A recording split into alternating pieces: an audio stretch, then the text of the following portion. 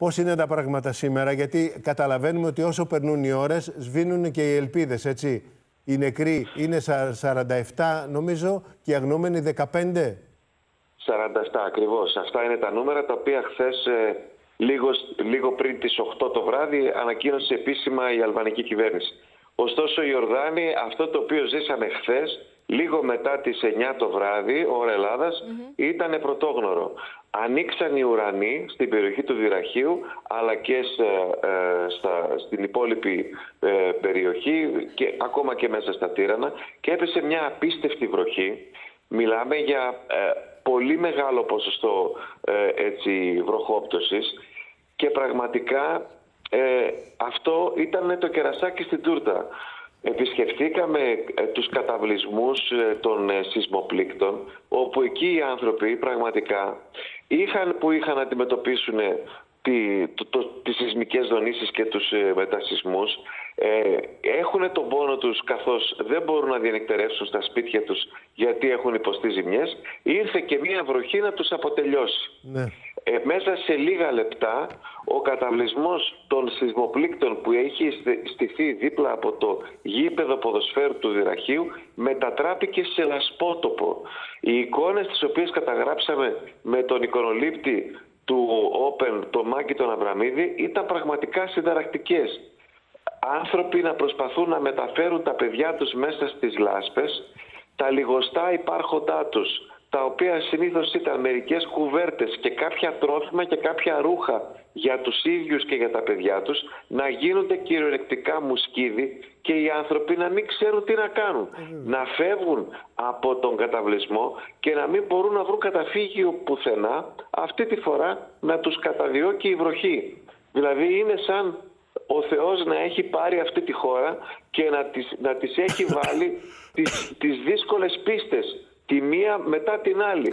Αρχικά η πίστα του σεισμού και στη συνέχεια της θεομηνίας. Χριστό, ο κόσμος, ε, επειδή κάθε μέρα εσείς τα ζείτε από κοντά, εμείς τα διαβάζουμε, διαβάζουμε τα ρεπορτάζ που στέλνετε εσείς, διαβάζουμε για απίστευτες τραγωδίες. Να τώρα πριν λέγαμε για τη μητέρα με τα δύο παιδιά που βρέθηκε κάτω από τα χαλάσματα, βρέθηκαν νεκροί.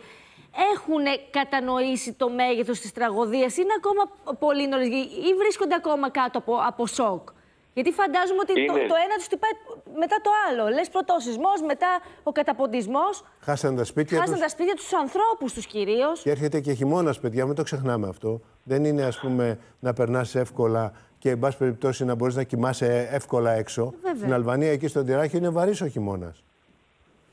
Ακριβώς έτσι είναι η Ορδάνη και πραγματικά αυτό που ζήσαμε χθες ήταν. Δηλαδή, και εγώ πραγματικά δεν μπορώ να το περιγράψω ανοίξαν οι ουρανοί κυριολεκτικά. Μιλάμε για απίστευτη βροχή. Ναι, ναι. Και οι άνθρωποι ε, είναι, ε, είναι, ακόμα δεν έχουν περάσει το σοκ του σεισμού. Και πραγματικά και εγώ μετά από κάποιες μέρες εδώ στην Αλβανία ε, αρχίζω και τους νιώθω, τους καταλαβαίνω. Ε, ξέρεις όταν γίνονται αυτοί, χθες ζήσαμε τρεις πάρα πολύ δυνατούς μετασυσμούς. Ε, έρχονται αυτοί οι μετασυσμοί με μια έτσι βοή και στη συνέχεια καταλαβαίνεις ότι ε, χορεύει το έδαφος.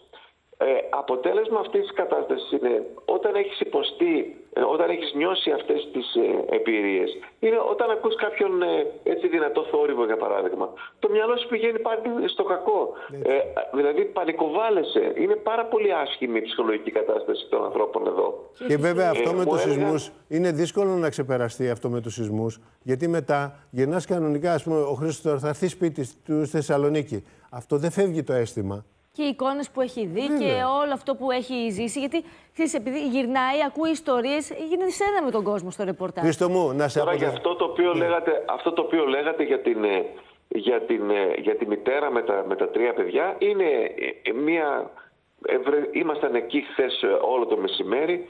Είναι μία από τις πιο τραγικές ιστορίες που υπάρχουν. Δηλαδή, εκεί υπήρχε ένα τετραόροφο κτίσμα το οποίο το είχε κτίσει μια οικογένεια Φαντάσου δηλαδή ήταν ο παππούς με τα τρία του αγόρια τα οποία είχαν παντρευτεί ε, και είχαν και παιδιά.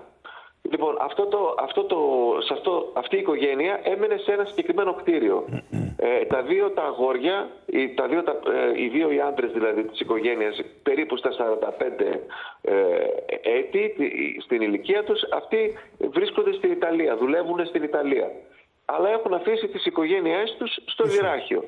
Λοιπόν, και καταραίει αυτό το κτίριο και ουσιαστικά μέσα του σκοτώνονται 8 άτομα της ίδιας οικογένειας. οικογένειας.